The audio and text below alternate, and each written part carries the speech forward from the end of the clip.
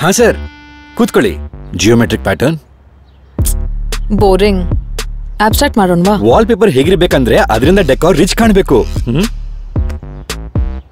ನಿಮ್ಗೇನ್ ಅನ್ಸುತ್ತೆ? ವಾಲ್ಪೇಪರ್ ಎದುರಿಗೆ ಕಾಣುತ್ತೆ.